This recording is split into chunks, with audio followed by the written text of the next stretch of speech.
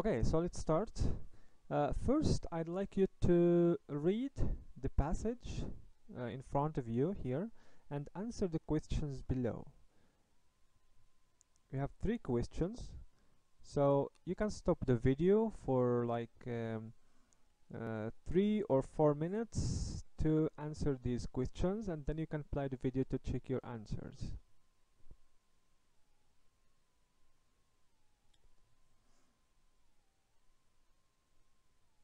Okay, I guess you got them right. So let's answer these questions. Yes, number one, why does Karim have to walk to school? Yes, very good. So it's because he he doesn't have a bike. Very good. And number two, why can't his parents buy a bike for him? Yes, very good. Because they are poor. They don't have money or they are poor or don't have money for that. Very good. Three does he have a camera? Very good. No he he doesn't. Okay. Very good. Okay. Now I'd like you to read the following sentences and complete the rule below so in conditional sentences, we have two uh, clauses. We have if clause that starts with F and the main clause. That would be uh, the result. So we have condition and the result. So I'd like you to read these sentences and complete this table with, with the rule. Okay, so if uh, in if clause we have F plus, which tense of the verb do we use? If Karim had a bike so had which tense is this? Yes it's simple simple past very good. It's simple past of the verb. And so we have if plus subject plus simple past. And then in the main clause we say he wouldn't walk to school.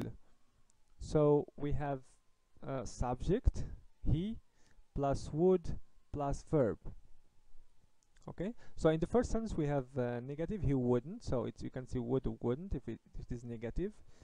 Yes so we, let's have a look at these examples. So uh, I'd like you to notice uh, sentence last sentence. Uh, he would take photos of everything if he had a camera. So we can start with the main clause also. But notice that if we start with the main clause we don't put comma in the first after the first clause. So if we start with if clause we have comma after the first the if clause but if we start with the main clause we don't have comma in this sentence. Okay? Uh, okay so when do we use uh, conditional type 2 if Karim had a bike does Karim have a bike? No he doesn't so he does he walk to school? Yes. So if he had a bike, he wouldn't walk to school. So we are imagining here an unreal situation. Okay. Uh, so we use conditional type 2 to express unreal situation, something that is not real, the opposite of reality, or things that are unlikely to happen, or things that are impossible in present. Okay, so he would take photos if of everything if he had a camera. He doesn't have a camera and he's not he doesn't take photos. So we are just imagining uh, the unreal situation here. Okay now it's time for uh, for you to practice. So I'd like to match the clauses to make sentences. So match the if clause of each sentence with the main clause. Let's see the first uh, one as an example so if I had time now, can you guess the, the other clause? So I have if clause. What is the main clause of this sentence? If I had time now, yes, very good. I would go to gym. So if I had time now, I would go to gym. So gym is a place where you do sport, right? Uh, okay, uh, you can stop the video again for three or four minutes and try to match the other clauses.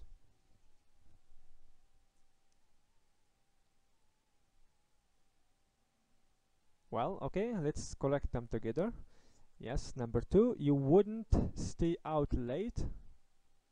Yes very good. A if your parents were at home. You wouldn't stay out late if your parents were at home. So the parents are not at home now so this person stays late. Uh, three if my dad had a driving license yes what would he do? Yes very good. He would buy a car. He would buy a car. Okay very good. Number four if the weather was nice today yes very good. We would go out. We would go out five you would get good marks uh-huh if you worked hard okay? Good so for example this person is telling his friend that is not working well so if you if you you would get good marks if you worked hard.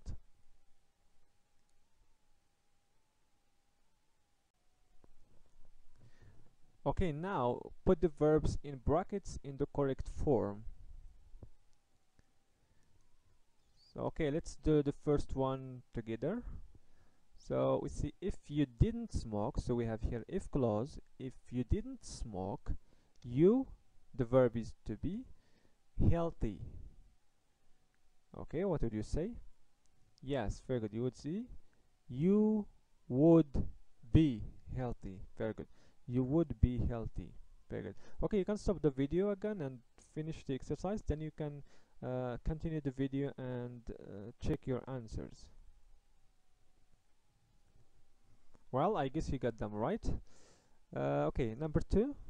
We see if I yes very good. If I had so we need simple past of the verb. If I had 10,000 dirhams now I would buy a motorcycle. Mm -hmm. number three. So here we have negative. Yes we see if it yes if it didn't rain we yes we would go on a picnic very good four we see if I yes very good. so for the verb to be here uh, simple past we can use uh, normally we say I was but in conditional type 2 we can see also if I were if I were a child if I was a child okay I would play all the time. Very good. I would play all the time. Very good. Five Hanan yes Hanan would get a job or a good job if she spoke if she spoke English. Here we start with the main clause with the main clause here right? Okay? So Hanan would get good job if she spoke English. Very good.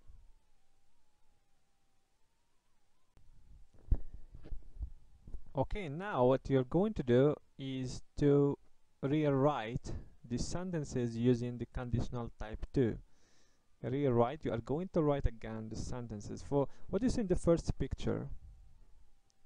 Yeah so this woman wants to buy a dress but she doesn't have money right? She said I can't buy this dress because I don't have enough money now. So if you uh, imagine the unreal situation what would you say?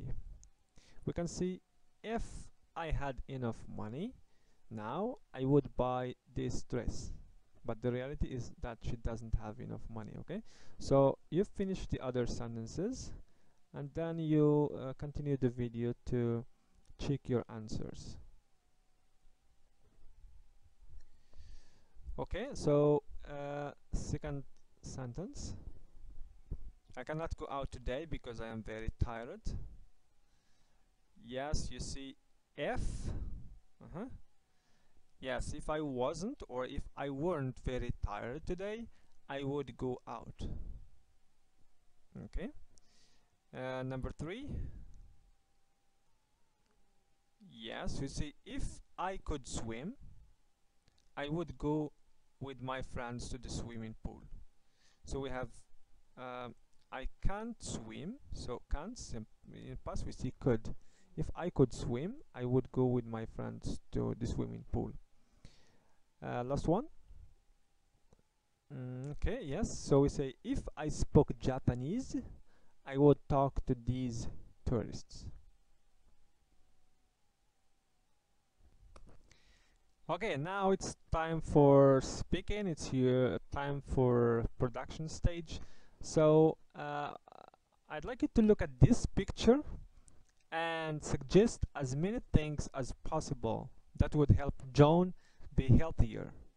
And you are going to use conditional type 2 if you are with a partner or a friend you can challenge each other of uh, uh, about coming with coming up with sentences. So for example you can say if John went to bed earlier he wouldn't be tired. And your friend would say if he didn't smoke so much he wouldn't cough. Okay? And you can go on like this. And I'm sure uh, you're going to come up with uh, many uh, sentences and many suggestions. Okay good luck and see you in the next lesson